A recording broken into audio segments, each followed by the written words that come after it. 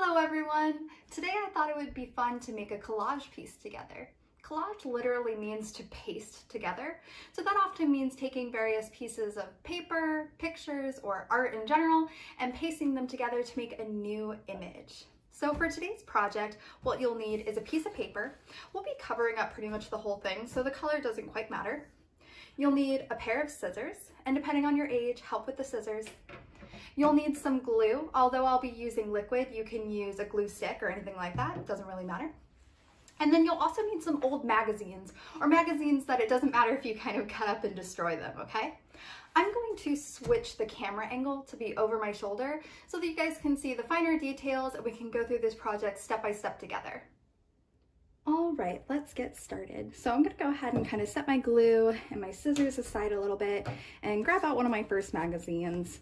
So I like to kind of dedicate a magazine when I'm using it for collage to just be my collage magazines. So that means that when I'm going through and finding my pieces, I'm not necessarily tearing out an entire page, but instead I'm just kind of like cutting out the color that I need and then leaving it relatively intact so that I can continue to use it again. So since it's March, I thought it would be really fun if we made a four-leaf clover, which means that I'm mainly going to be hunting for green colors and green pieces today, okay? So that literally means I'm just going to go page by page until I see something green that I'm like, ooh, okay, yeah, that'd be perfect. Let me cut that out. So as we can see, I'm not kind of, oh, oh, here's a good picture. So here's some green trees. I'm gonna go ahead and just literally, I don't really need the blue, I don't really need the sand, right? So I'm just gonna kind of like cut out a little bit to use for today. And as you can see, I'm leaving the page relatively intact, right? So if there was another project where I was like, oh, I need a lot of blue, boom, I have a lot of blue, right? So continue to, ooh, that's a kind of a nice minty green. So this is kind of the whole process at the beginning, is just finding all of your pieces, cutting them out, and then setting them aside to eventually glue together, right? So you're gonna kind of make a pile. I'm gonna set this aside for two seconds. So you can kind of make a pile of your pieces next to you and then when you're ready to glue, start gluing. I kind of have a piece of paper that I've already relatively kind of started on. So as you can see, I have lots of different just green images. Um, if you look closely, some of them are grass, some of them are just paint, some of them are uh, Savoy cabbage. so it really doesn't matter what the green is. Um, I wanted to use all different colors, but if you felt like trying to use only lime greens or something. That may be difficult, but that's your prerogative. It's your project, okay? So what you wanna do is kind of cover up the entire background so that once you draw your four-leaf clover or whatever shape, because this is a really kind of customizable project, right? Although we're making a four-leaf clover today, you could make anything. You could make a heart, you could make a puppy, you could make flowers, really endless possibilities. So I like to cover up the whole page so that I'm not worried about like, if I only covered up this bit and I was to be drawing, if I went into this white space, like clearly I kind of need some green over there. So I like to kind of blend it to all of my edges. Once everything's glued on the front, I like to flip it over and then just kind of grab some kind of pencil or something like that to sketch out with. A four-leaf clover, I really like to just keep it simple and do four heart designs, okay? Now, since this is gonna be our back of our project, it really doesn't matter if you kind of do it really, really sketchily, okay? So that means having lots of lines.